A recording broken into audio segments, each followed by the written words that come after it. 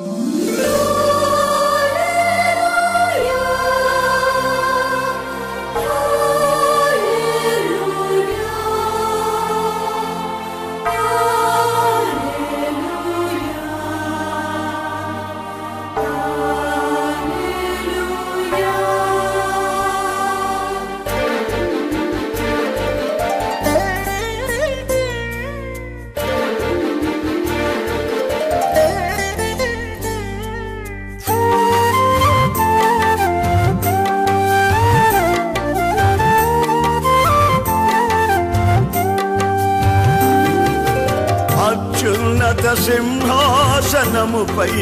ఆసీనుడా.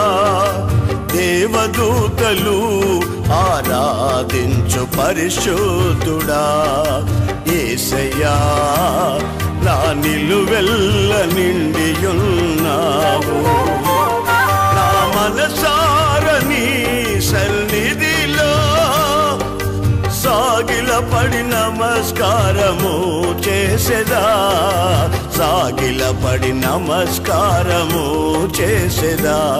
నా మనసారని సన్నిధిలో సాగిల పడి నమస్కారము చేసేదా? సాగిల పడి నమస్కారము చేసేదా?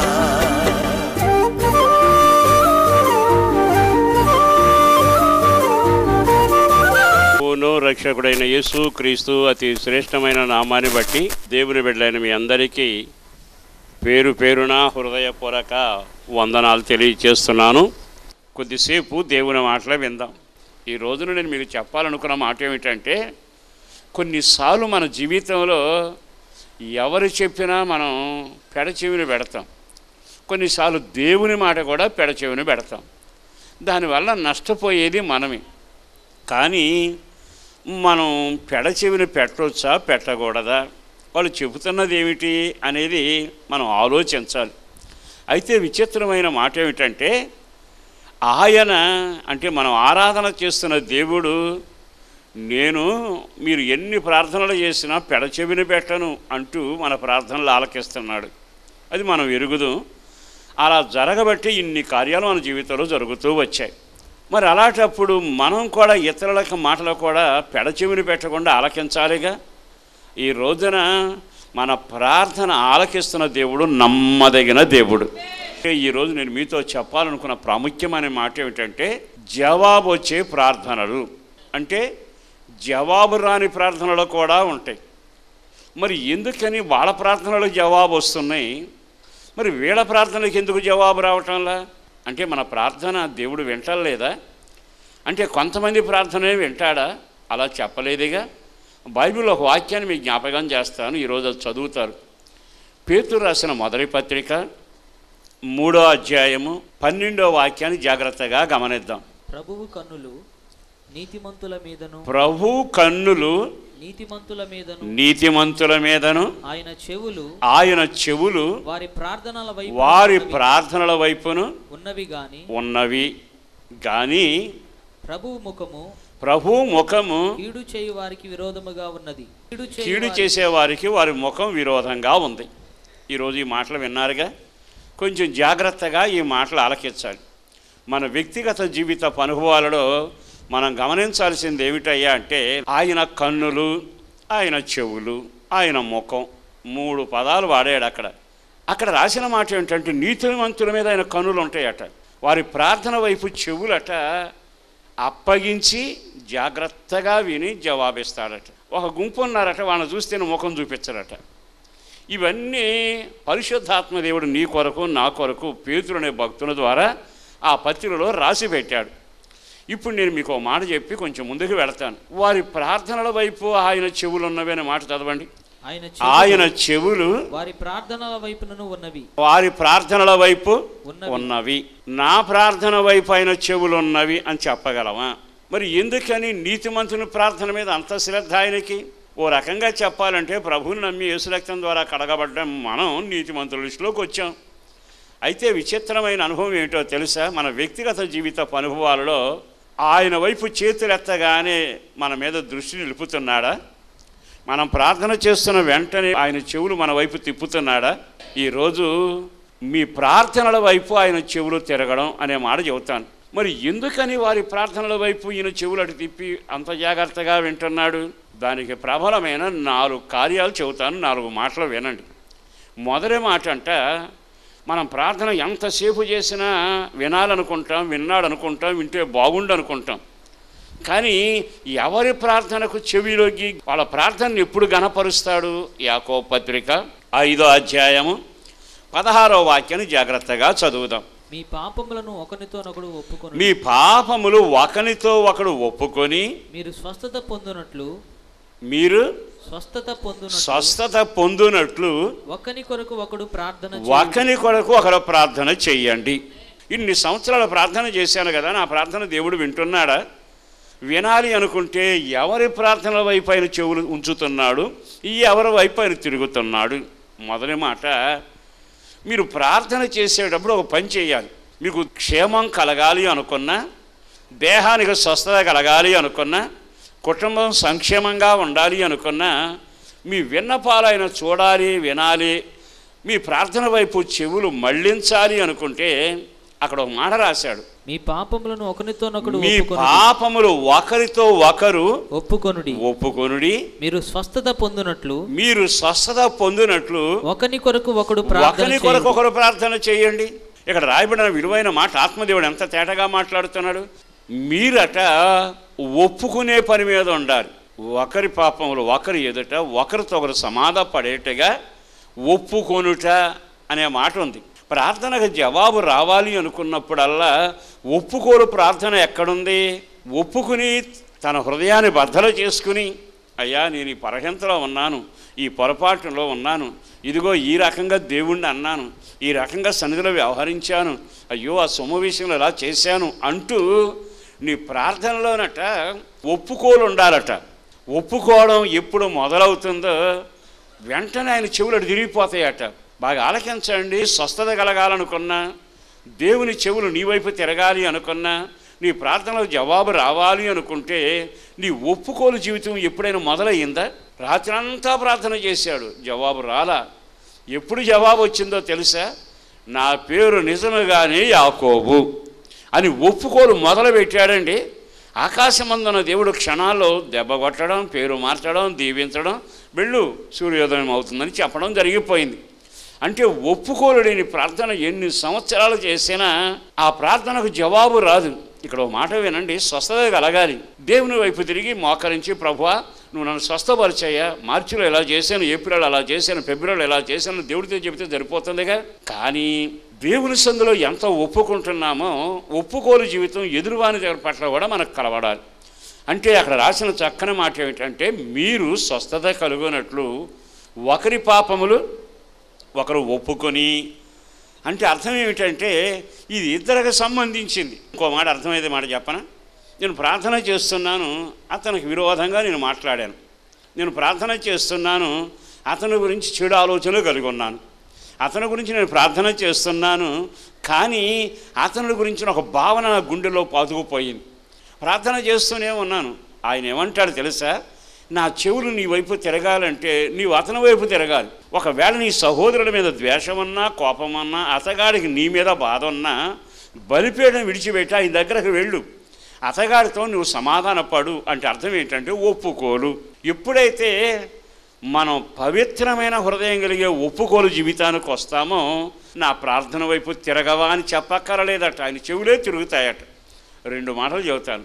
ఒకటి దేవుని దగ్గర ఒప్పుకుని ఒప్పుకోలు. అంటే నీ అంతరంగ జీవితం అంతా ఆయన దగ్గర ఒప్పుకుని అతిక్రమాలు ఒప్పుకుని విడిచిపెట్టడం. రెండవది నీ సహోదరుని పట్ల నీ ప్రార్థన పైకెళ్ళకుండా అడ్డుపడి ఏ సమస్య ఉన్నా దానికి కూడా ఒప్పుకోలు మొదలవ్వాలి.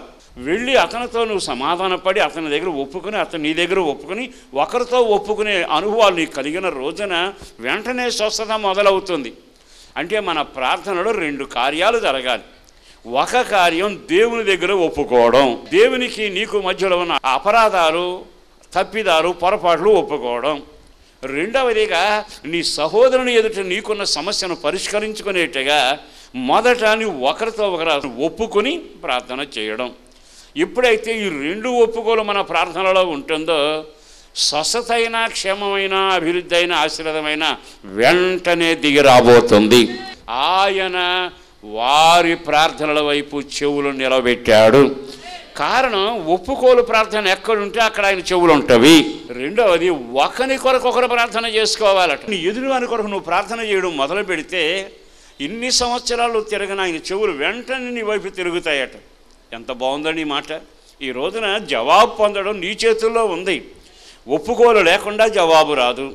దేవుని దగ్గర ఒప్పుకునేవి దేవుని దగ్గర ఒప్పుకోవాలి. సహోదరుని దగ్గర ఒప్పుకునేవి సహోదరుని దగ్గర ఒప్పుకోవాలి. అన్నిటికంటే మరో విశేషం ఏంటి తెలుసా? ఒకరికి ఒకరు ప్రార్థన చేసుకోవడం మొదలు పెట్టాలి. ఎప్పుడైతే ఇతరుల కొరకు నువ్వు ప్రార్థన చేయడం మొదలు పెడతావో వెంటనే ఆయన చెవులు నీ వైపు తిప్పబడతాయి. అంటే ప్రార్థన చేసి చేయక మునిపే స్వస్థత కలుగుతుంది. ప్రార్థన చేసి చేయకమునిపే ఆకాశం మేఘాలతో కప్పబడి ధారగా వర్షం మొదలవుతూనే వస్తుంది. ఈ రోజున జవాబు కలిగిన ప్రార్థనలు చేయగలగాలి. నీ ప్రార్థనలో జవాబు రావాలి. అలా రావాలి అనుకుంటే ఒప్పుకోలు ఒక మెట్టు ఒకరి కొరకు ఒకరు ప్రార్థన చేసుకోవడం రెండో మెట్టు ఇది జరిగిన రోజున నా చెవులు మీ ప్రార్థన వైపు తప్పక ఉండి తీరతావి. దేవునికే మహిమ కలుగునగాక. రెండో మాట చెబుతాను. ఆయన చెవులు మన ప్రార్థనల వైపు ఎప్పుడు తిరుగుతాయి? బైబిల్ ఇంకో వాక్యం జ్ఞాపకం చేస్తానండి. దినవృత్తాంతాల రెండవ గ్రంథం ఏడో అధ్యాయం పదిహేనవ వాక్యం. ఈ స్థలమందు చేయబడు ప్రార్థన మీద ఈ స్థలమందు చేయు ప్రార్థన ప్రార్థనను నా కనుదృష్టి నిలుచును. నా చెవులు దానిని ఆలకించును. రెండో కార్యం ఏమిటో తెలుసా? ఈ స్థలమందు చేయు ప్రార్థన. అందరు ఆమెనండి ఈ స్థలమందు అంటే అర్థం ఏంటో తెలుసా? సలోమాను మందిరం కట్టాక సలోమాను దేవుని దగ్గర ప్రార్థన చేశాడు. ఈ స్థలమందు ప్రజలు ప్రార్థన చేస్తే ఆలకించయ్యా అంటే దాని అర్థం ఏమిటి? మందిరంలోకి వెళ్ళి ప్రార్థన చేసే వాళ్ళ ప్రార్థన ఆలకించయ్యా అని. అది మంచిదే. నేను మీకు చెప్పాలనుకున్న మాట ఏమిటో తెలుసా? ఈ స్థలమందు అనే మాట మీరు మనసులో పెట్టుకున్నారు అంటే అర్థం ఏమిటంటే అక్కడేమో పరిశుద్ధత అనేది మొదలు పెడతారు. మరి దేవుని సందులోకి వెళ్ళేటప్పటికీ ఈ స్థలమందు నువ్వు చేసే ప్రార్థన అంటే స్థలం గురించి నీకు ఒక ఆలోచన కలగాలి. ఏమిటా స్థలం? మందిరమా? వాస్తవమే. కానీ ఇక్కడ దేవుడు ఉన్నాడనే భయం ఉండాలి. దేవునికే మహిమ కలుగునగాక ఈ స్థలం పరిశుద్ధుడైన దేవుడు సంచరించే స్థలము. అందరు ఆమెనండి ఇక్కడ పరిశుద్ధత ఉంది. ఇక్కడ పరిశుద్ధమైన దేవుడు సంచరిస్తున్నాడు. అనే ఒక భయం ఈ స్థలమందు నీకు మొదలవ్వాలి. బైబిల్ లేఖనం చెబుతున్న మాట ఏమిటో తెలుసా? ఈ స్థలమందు దేవుడు ఉన్నాడు. ఒక్కసారి బైబిల్ లేఖనం చదివితే ఏలి అట కొండ మీద నిలబడగానే దేవుడు అయిపో తిరిగి సంచరించి మాట్లాడటం మొదలుపెట్టాడు. ఏలియా దుప్పటిని తన ముఖాన్ని కప్పుకొని ఎంత చక్కగా రాయబడిందండి. కొండ అదేగా? ఎన్నోసార్లు ఎక్కి దిగిందేగా? కానీ దేవుడున్న కొండ దేవుడు సంచరిస్తున్న కొండ పరిశుద్ధమైన కండ దేవుని ఆత్మ సంచారం ఇక్కడ ఉంది? ఇక్కడ దేవుని భయము కలిగి నేను జీవించాలి? దర్శనం కలిగిందట. వెంటనే దానియాలు సత్యం వాడిలాగా పడిపోయాడట. ఏ ఎందుకని?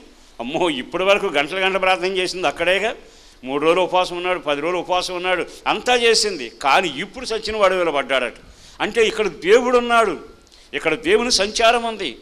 దేవుని కన్నులు ఎక్కడ ఉన్నాయి దేవుడు ప్రతిదీ గమనిస్తున్నాడు అంటే దేవుని భయము కలిగిన విశ్వాసిగా సేవకుడగా నువ్వు అక్కడ మోకరించగలిగితే ఇది దేవుడున్నాడనే భయం కలిగితే అట్టి వారి ప్రార్థన వైపు ఆయన చెవులు తిరుగుతాయట. ఆమెన్.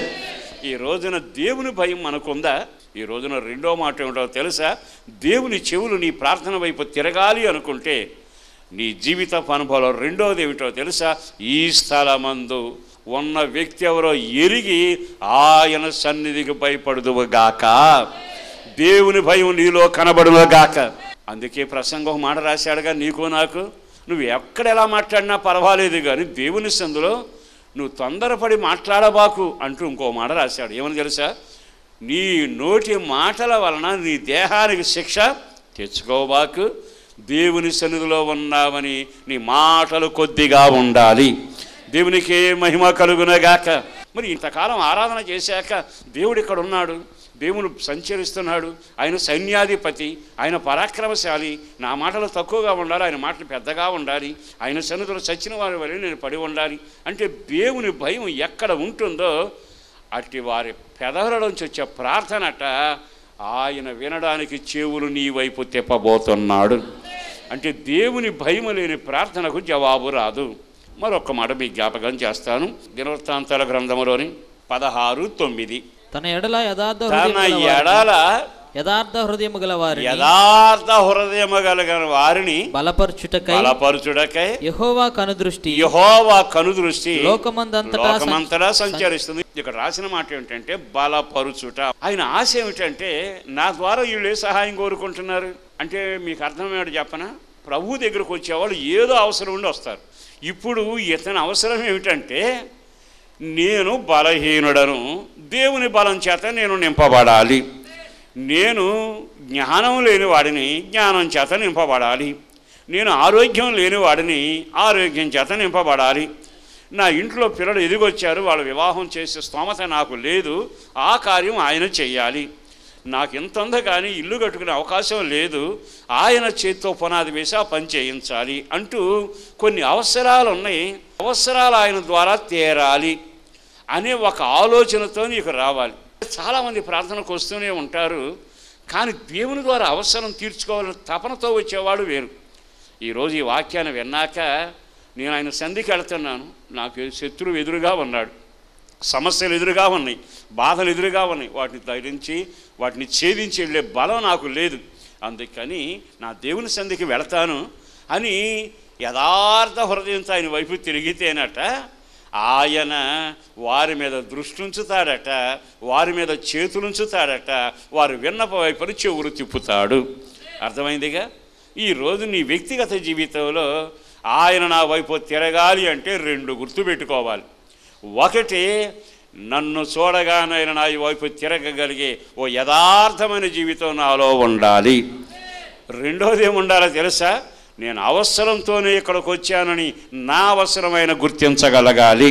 అలాంటి అవసరం కలిగి నువ్వు ప్రార్థన చేస్తే ఎన్ని సంవత్సరాలుగా జరగని కార్యం చేయడానికి ఆయన చెవులు నీ వైపు తిరగబోతావన్నాయి ఆయన అద్భుతమైన కార్యం నీ పట్ల చేయబోతావన్నాడు మరి ఏ రోజైనా ఈ మాటలు విన్నాకైనా నా దేవుడు నా ప్రార్థన వైపు తిరగాలి అనే ఆలోచన కలగాలిగా. దేవుని ద్వారా తీరాలని తపన ఉండాలి. అన్నిటికంటే యథార్థమైన జీవితం ఉండాలి. నాలుగో కార్యం చెబుతా. మన ప్రార్థనల వైపు ఆయన చెవులు తిరగాలి అనుకుంటే మరొక వాక్యం ద్వితీయోపదేశ కాండం పదకొండవ అధ్యాయము పన్నెండవ వాక్యం చదువుదాం. అది ఆకాశ వర్ష జలము త్రాగును. అది ఆకాశ వర్ష జలమును త్రాగును. అది నీ దేవుడని యెహోవా లక్ష్యపెట్టు దేశము. ఇక్కడ ఒక దేశాన్ని గురించి చెబుతున్నాడు. ఒక భూమిని గురించి చెబుతా ఉన్నాడు. చెప్పే మాట ఏమిటో తెలుసా? అది అంటే ఆ నేల అది అంటే ఆ భూమి. ఏం చేస్తుందట? ఆకాశ జలాన్ని ఆకాశ వర్ష జలము త్రాగును. త్రాగును. ఈ దేశం అని మాట మాట్లాడు. తర్వాత పైన ఇంకో మాట చదవండి. యోర్ధాన్ని దాటి వస్తారన్న మాట ఉండదు పై వాక్యంలో. మీరు నది దాటి స్వాధీనపరుచుకున్నట్టుకు వెళ్ళుచున్న దేశం ఇదిగో మీరు నది దాటి స్వాధీనపరుచుకుని ఈ దేశం. అంటే అవతల దేశం ఉందగా? అవతల ఏరు దాటాక అంతకుముందు కూడా నడిచి వచ్చిన నేల ఉందగా? మరి వర్షం పైనుంచి పడితే అది నోరు తెరవదా ఇది నోరు తెరవదా విచిత్రమైన అనుభవం ఏంటంటే ఇది ఆకాశ జలం కొరకంట నోరు తెరిచే దేశం అట ఈ దేశం అంటే మట్టి కాదు మనుషులు. దీని పేరు వాగ్దాన దేశం. ఇందులో ఉన్న వాళ్ళంతా వాక్యం మీద ఆధారపడి బ్రతికేవాళ్ళు. వాక్యాన్ని పూర్తిగా నమ్మేవాళ్ళు. విచిత్రం ఏంటి తెలుసా? ఆకాశ జలం ఎప్పుడు వస్తుందా అని నోరు తెరిచి ఉంటుందట. ఇప్పుడు మీకు అర్థమై మడ చెబుతాను. భక్తులకి భక్తిహీనులకి తేడా గమనించండి. వాక్యం అంటే ఆసక్తిగా ఉన్నాళ్ళు పక్కనోడు కానీ గోల్ చేసాడు అనుకోండి పిల్లోడు లేచి అరిచినా పక్కనోడు సెల్ మోగినా మనోడు వాక్యం ఏంటని ఒకసారి చూస్తాడు. కారణం ఏంటో తెలుసా? తన ఆశ అంతా వాక్యం మీద ఉంది ఈలో పిల్లోడు గోల్ చేశాడు. ఆ పక్కన ఇంకో అతను ఉంటాడా? వాక్యం చెబుతానే ఉంటాడు సెలవులు ఆడుకుంటానే ఉంటారు. కార్యక్రమం మామూలుగానే చేసుకుంటారు. మరి ఇతనో దేశమే ఇతనో దేశమే. ఇతడో విశ్వాసే అతడో విశ్వాసే. ఇద్దరు గుడికొచ్చారు. ఆకాశ జలం అనే దేవుని వాక్యం కుమ్మరించబడుతున్నప్పుడు ఎవరు ఆసక్తిగా ఉన్నారు? ఇదిగో ఈ నది దాటిన వాళ్ళు ఉన్నారే ఏసు రక్తం ద్వారా కడగబడిన వాళ్ళు ఉన్నారే మరణంలోని దేవంలోనికి దాటిన యేసు రక్తం ద్వారా విడుదల పొందిన వాగ్దాన పుత్రులను వాగ్దాన దేశంలోని సంఘ విశ్వాసులు ఎలాంటి వారో తెలుసా? ఈరోజు ఆకాశం నుండి జలం నా కొరకు రావాలి. ఈరోజు ఆకాశం నుంచి వాక్యం కుమ్మరించబడాలి. ఈ రోజున మన్నా నా కొరకు కుమ్మరించబడాలి. ఆవురావురమంటూ ఎప్పుడు కుమ్మరించబడుతుందా తాగుదామనే తపన ఉంటుంది. కొంతమందికి ఎన్ని సంవత్సరాల వాక్యం అనేది చెప్పండి అసలు ఏ దిగులు ఉండదు అంటే అర్థం ఏంటంటే ఇది జలం దాగే నోరు కాదు. ఆకలి జలం చేత నింపబడి ఆసక్తిగా మింగే భూమి కాదు. ఇళ్ళు గుళ్ళోనే ఉండి రేపు రాకడ వచ్చేటప్పటికి ఎత్తబడాలని ఆశపడినా. ప్రభువా నా ప్రార్థన ఆలకించు అంటే ఆయన అంటాడు కదా పైనుండి జలం కొరకు నోరు తెరిచింది ఎక్కడ? వాక్యం అంటే ఆసక్తి ఎక్కడ దైవ కార్యాలంటే నోరు తెరిచింది ఎక్కడ? భక్తుడు ఒక ఆయన పలకరిస్తే ఉంటాడు తెలుసా?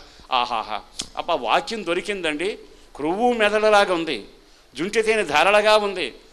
ఈ రోజున ఏరు దాటినాక యోర్ధాను దాటినాక నువ్వు ప్రవేశించిన భూమి వాగ్దాన భూమి. నువ్వు చేరిన సంఘం పరిశుద్ధమైన సంఘం. ఇది పరిశుద్ధమైన సహవాసం. ఎల్లప్పుడూ కన్నుల పైకెత్తి ఆకాశ జలములు నా కొరకు రావాలని ఒక ఆశ తపన తృష్ట నీలో ఉండునగాక. నేను ఎందుకు చెబుతున్నానంటే మిగిలినవన్నీ ఆసక్తిగా చేసి దైవవాక్యం మీద ఎందుకు ఆసక్తి ఉండదు? ఒకటే ఆసక్తి ఉన్నప్పుడు ఆ నీరు పడుతుంది నేల తడుస్తుంది పచ్చగా ఉంటుంది మొలకొస్తుంది నీ జీవితంలో దేవుని వాక్యం పైనుంచి పడ్డా నీకు ఆసక్తి లేకపోయినా నోరు తెరవకపోయినా తాకపోయినా తినకపోయినా జరిగేది ఏమిటి తెలుసా? పెద్ద నష్టమేమీ ఉండదు. అది నీలో కార్యం చేయదు. క్షమించమంటావా? పెద్ద కదిలిక ఉండదు. ప్రేమించమంటావా? కుదరదు. ప్రార్థన చేయమంటావా? అసలు నడవదు. దేవుడు ఇలా నడవమంటాడా? అవన్నీ ఎక్కడ జరుగుతాయి? తడిస్తే కది నోరు తెరిస్తే కదా? ఆసక్తిగా అంగీకరిస్తే కదా వాక్యం ఎవరి గుండెల్లోకి వెళ్ళినా వాళ్ళకి మార్పు కలుగుతుంది. ఎవరి గుండెలో వాక్యం క్రియ చేసిన వాళ్ళ కుటుంబాలు వీ- దేవుని వెలుగు చేత నింపబడతాయి. తాగిన భూమి ఎలా ఉంటుంది? పైనుంచిన ప్రవాహం తాగకుండా ఉన్న భూమి ఎట్లా ఉంటుంది? చేతులు జోడించి ఒక సేవకుడిగా బ్రతిమలాడుతూ చెబుతున్నా అట్టి దేశం మీద ఆయన లక్ష్యం ఉంచాడట. వాక్యం చదివిన ఎంత చక్కగా రాయబడిందో ఆ మాట. అది ఆకాశ జలమును త్రాగును. త్రాగును. అది నీ దేవుడైన యెహోవా లక్ష్య పెట్టు దేశము. అంటే మిగతా లక్ష్య పెట్టడా? దండం పెడి చెబుతున్నాను నువ్వు వాక్యాన్ని లక్ష్య పెట్టకపోతే దేవుడు నిన్ను లక్ష్య పెట్టడు. దేవుని వాక్యాన్ని అంగీకరించి దాని ప్రకారం నడవాలని తపన నీకు లేకపోతే నీకు మూటగట్టి దీవులను నెత్తిన పెట్టాలని అనుకోవడం కూడా ఆయన లక్ష్య పెట్టడని ఉంది. అంటే అర్థం ఏంటి? నువ్వు ప్రార్థనలు చేస్తావా? నా చెవి నీ వైపు ఎందుకు తిప్పాలి?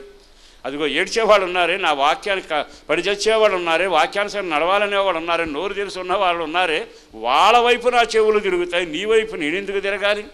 ఈరోజు అర్థమవుతుందిగా? జవాబు ఎందుకు రావట్లే మన ప్రార్థనలకి? దేవుని కార్యం ఎందుకు జరగటంలా ఈ రోజైనా ఆకాశ జలములు కొమ్మరించబడితే నోరు తెరిచి త్రాగగలిగిన ఒక ఆసక్తి నీలో కనబడునుగాక. అట్టి దేశమును లక్ష్యం ఉంచబోతున్నాడు అంతడు తాపాడా? మరొక మాట చెప్పాడు. ఏం రాశాడు అక్కడ? ఆయన కన్నులు నీ దేవుడైన యెహోవా కన్నులు సంవత్సరాది మొదలుకొని సంవత్సరాంతము వరకు అంటే సంవత్సరం మొదటి మొదటి తేదీ మొదలుకొని సంవత్సరాంతం డిసెంబర్ ముప్పై ఒకటో తేదీ వరకు ఎల్లప్పుడూ దాని ఎల్లప్పుడూ. దాని మీదే కన్నులు ఉంటాయట. అందరు ఆమెను అనుకోండి. అంటే నువ్వు అడగకపోయినా నువ్వు ఎప్పుడైతే అంత ఆసక్తిగా దేవుని వాక్యం దైవ కార్యక్రమాలు అనే దాని మీద నువ్వు ఆశగా దేవుని వాక్యం కూడా నోరు తెరిచి భూమి ఆకాశ వర్షానికి ఎదురు చూసినట్లుగా నువ్వు అంత ఆసక్తిగా నడిస్తే ఆయన అంటున్నాడు సంవత్సర ప్రారంభం నుండి సంవత్సరాంతం వరకు నా కన్నులు ఎప్పుడు నీ మీదే ఉంటవి. మరి నీ జీవితంలో ఈ రోజుకి ఎంతకీ మార్పు రాలేదు అంటే నీలో ఆ కోపం తగ్గలేదా? నీలో ఆ ద్వేషం తగ్గలేదా? నీలో నిద్రమతి తగ్గలేదా? నీలో సమర్పణ మొదలవ్వలేదా? దేవునికి ఒక ఉపవాసం చేయలేకపోతున్నావా? దీని అంతటా కారణం ఏంటంటే నోట్లో పడల నీళ్ళు. ఆ వాక్యం విన్నా ఈ రోజున ప్రతి వాళ్ళు ఆలోచించండి సేవకుడైనా మీరైనా నేనైనా గుండె మీద చేయబెట్టి ఆనాడు రక్షించబడ్డప్పుడు ఎట్లా ఉన్నావు? ఇప్పటికి అట్లా ఉన్నావు? అంటే నువ్వు వర్షం కొరకు ఎదురు చూసి ఆసక్తిగా నీటిని తాగిన వ్యక్తివేనా? తాగిన వ్యక్తినే. దండం పెడి చెబుతున్నాను ఈ రోజున ఆయన చెవులు వారి వైపు తిరిగాయి. ఆ దేవుని చెవులే నీ వైపు తిరుగునగాక. నీ విన్నపాలు వైపైన చెవులు తిరుగునగాక ఈ నాలుగు కార్యాలు ఎక్కడ జరుగుతాయో ఈ నాలుగు అనుభవాలు ఎవరి జీవితంలో ఉంటాయో వారి ప్రార్థనలకు జవాబు ఇప్పుడే మొదలవుతుంది. చేతులు జోడించి ఒక సేవకుడిగా చెప్పగలిగిన మాట. ఈ రోజున పేతులు రాసిన పత్రికలను వాక్యం నీ కొరకు నా కొరకు రాయబడితే నీతిమంతుల మీదేమో దృష్టి ఉంటుందట. ఆయన చెవులు వారి వైపు తిరగబోతున్నవి. ఈ రోజైనా ఈ మాటలు విన్నాకైనా ఇంతకాలం నా ప్రార్థనకు ఆయన చెవులు ఇటు తిరగలేదు ఎందుకని? అని ఒక ఆలోచన నీకు కలగాలిగా. మొదటి కార్యం ఒప్పుకోగలిగిన జీవితం ఉండాలి. ఒకరికొరకొకరు ప్రార్థన చేసిన అనుభవం ఉండాలి. నీ జీవితంలో ఈ స్థలం ముందు నేను ప్రార్థన చేస్తున్నాను. ఇక్కడ పరిశుద్ధుడు ఉన్నాడు అనే దేవుని భయం నీకు ఉండాలి. విశేషమైన ఒక చక్కని అనుభవం అక్కడ రాసి పెట్టాడు. అదేమిటి అయ్యా అంటే నా దేవుని ఎదుట నిజమైన ఆసక్తి కలిగి నా దేవుడు నన్ను బలపరచాలి అవసరాలు ఆయన ద్వారా తీర్చుకోవాలన్న తపన నీకు ఉండాలి దానికి యథార్థమైన జీవితం ఉండాలి. అన్నిటికంటే విశేషం ఏమిటంటే నోరు తెరిచిన భూమిలాగా నీ ఉందువగాక అట్టి ఆసక్తిగా దేవుని వాక్యాన్ని విని దాని ప్రకారం నడిస్తే నీ జీవితంలో ఎంత మార్పు ఎంత దీవెన ఎంత ఆశీర్వదం? రోషమైనా కలగని బాధన్నా కలగని ఈ రోజున ఆయన చెవులు నీ వైపు తిప్పబడినగాక. ఒక్క క్షణం ఆగి ఆలకించి నా జీవితంలో ఒక మార్పుకు వస్తాను. ఇక మీదట ఇలాంటి ప్రవర్తన నేను ప్రవర్తిస్తాను. నా పట్ల కార్యం చేయవా? అని కానీ ఈరోజు ఒప్పుకొలతో ప్రార్థన చేసుకోగలిగితే పేదవుల నుంచి వచ్చే ప్రతి ప్రార్థనకు ఆయన చెవులు తిరగబోతా ఉన్నాయి. రావటమే కాదు కార్యం జరగబోతా ఉంది. కార్యం జరగటమే కాదు నీ ప్రతి ప్రార్థనకు జవాబులు మీరు చూడబోతున్నారు. మన కన్నులకు ఆశ్చర్యము జరుగునగాక. అందరు లేచి నిలబడి మరొక్కసారి నీ నామాన్ని బడి ప్రార్థన చేసుకోవడానికి కృప అనుగ్రహించావు. మనసారా పాడడానికి నోరారా స్థుతించడానికి నీ నామాన్ని గొప్ప చేసే అవకాశం కలిగించినందుకో వందనాలు. ఆశగా కూడి వచ్చిన ప్రజని కానీ మీరు దర్శిస్తున్నందుకో వందనాలు. పేరు పేరు నా కుటుంబాలను బిడ్డలను దీపించండి. వాళ్ళ అవసరాలు తీర్చబడాలి. ఆధ్యాత్మికంగా ఎదగలగాలి ఎక్కడ ఎప్పుడు మేము మోకరించినా నీ చెవులు మా ప్రార్థన వైపు మళ్ళాలి ప్రభువ. అట్టి ఘనకార్యం మీరు చేయబోతున్నందుకో వందనాలు. ప్రతివాని మీద నీ దృష్టి నిలవాలయ్యా. నీవు లక్ష్య పెట్టిన కుటుంబాలాగా ప్రతివారు ఉండగలగాలయ్యా. అట్టి బలమైన కార్యాలు జరిగించి నీ రాకూడదు సిద్ధపరచండి. మా ప్రార్థన కోరుకునే వారందరి కొరకు ప్రార్థిస్తున్నాం. ప్రతి అవసరం తీర్చబడాలి. ప్రతి వారు ఆత్మలో వెలుగొందాలి వెలుగు సంబంధికులుగా బ్రతకగలగాలి. కుటుంబాలు క్షేమం కలగాలి. మా ప్రార్థన కోరుకునే వారికి క్షేమం కలగాలి. కార్యాలు జరిగించి మహిమ పొందండి. ఏ సుపరిశుద్ధనామాన ప్రార్థించి విన్నవించి వేడుచూ ఉన్నాము తండ్రి. ఆమేన్. మీ ప్రార్థనావసతుల కొరకు మమ్ములను సంప్రదించవలసిన మా చిరునామా పాస్టర్ దేవదాస్ గారు. వస్తున్నామండి. న్యూస్ వీడ్ రోడ్డు హనుమాన్ జంక్షన్ కృష్ణా జిల్లా ఆంధ్రప్రదేశ్. మా ఫోన్ నెంబర్లు zero eight six five six two four two seven five one. మరి ఒక number nine four four zero double seven two seven seven two.